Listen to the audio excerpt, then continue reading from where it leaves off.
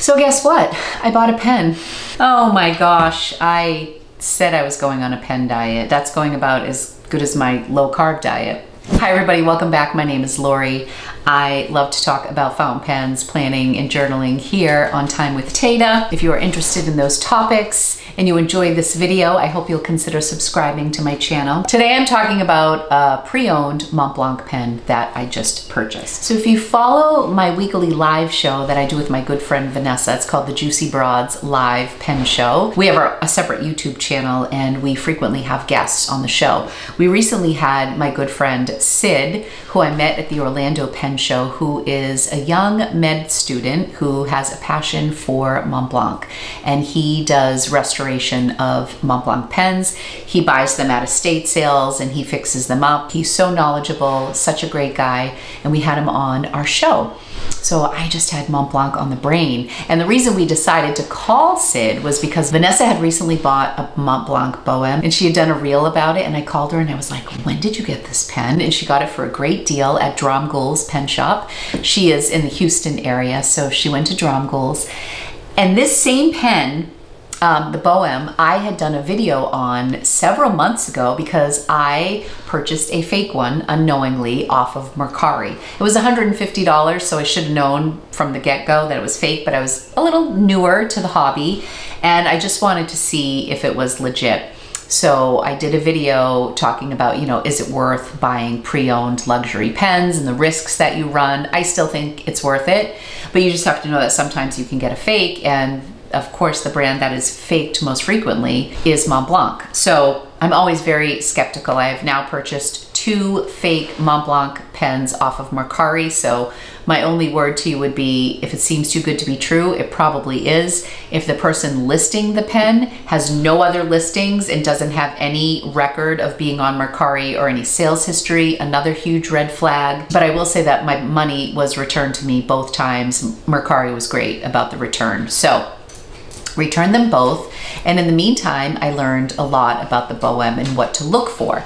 So the day that Sid was on the show, Vanessa was sharing her pen. Um, and I had originally wanted it with the ruby stone. They're synthetic, but they have little stones in them. The one that I got off Mercari had like uh, amethyst I mean, it was all fake. So, but it had an amethyst, but because it was such a good deal, I was like, oh, well, I'll get it at such a great deal. It was the non-retractable Bohème. So one of the cool things about the way that the Bohème is engineered is when you take the cap off of the pen, there's no nib and you're like, what's going on here? But at the back of the pen, you screw on the cap to attach it and as you screw it on the nib pops up. So it's really cool. So the one that I had purchased off Mercari I unknowingly purchased the non-retractable which as it turns out is the one that is easily faked because the retractable part is pretty complex. Anyway, there was one with a ruby on the Real Reel. I was very excited about it, but I didn't want to pull the trigger on it right away. And oftentimes, if you like something, they will sometimes send you a discount code. So in this case, a friend told me that they did discount it and it went down 20%. And so I jumped on it the next day. So it just came in the mail and it's the non-retractable. So I'm having like flashbacks of what happened with my first one but I did a lot of research on this today and it looks like it checks out. Um, the nib is monumentally better than the other nib. You can check out that video. I'll link it right here if you want to see some of the things that I was looking for. But here it is. The reason why I'm a little conflicted is because I kind of wanted that, the little screw back, because I just think that that's such a cute, unique thing to this design. To my knowledge, they didn't make a lot of the non-retractable Bohèmes. Um, but when I was researching the first one that I bought that was fake, there was a gentleman on Reddit in the threads, I had posted some pictures and I said, you know, I don't know if this is fake or not. Can anybody help me? And someone wrote back and said, I, sadly, I think yours is fake.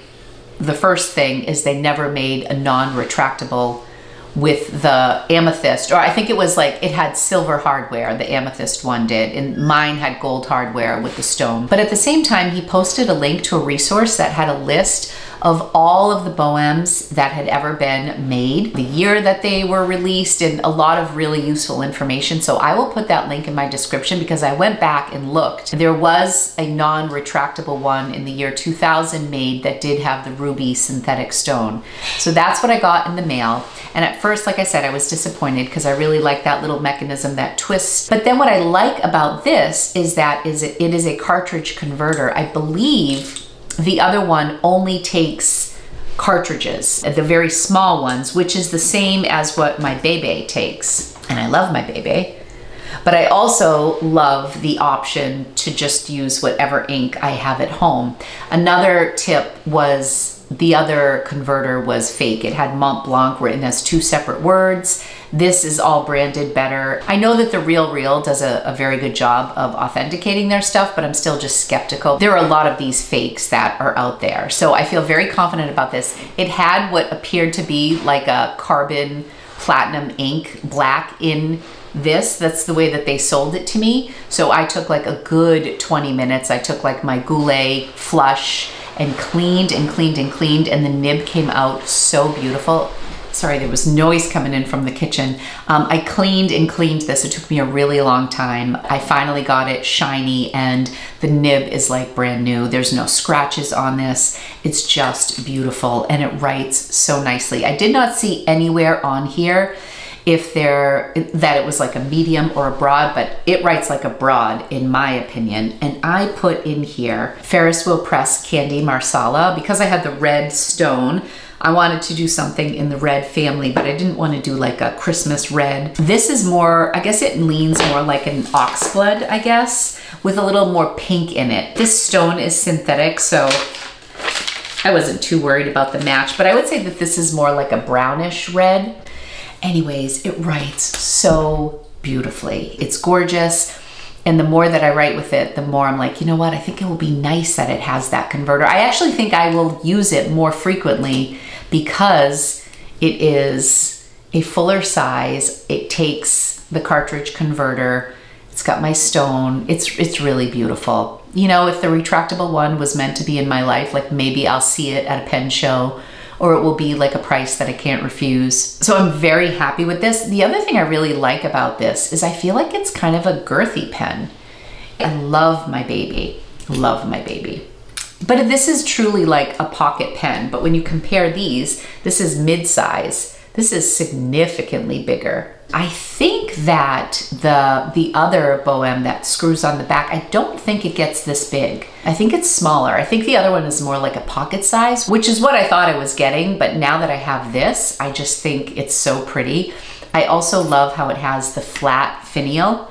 Um, like my Mont Blanc uh, 149s are beautiful, but they, they're like cigar shape. And this is the finial on this. It's just such a pretty pen. It's very feminine, which I love. I feel like my Mont Blanc collection is growing faster than I ever thought it would.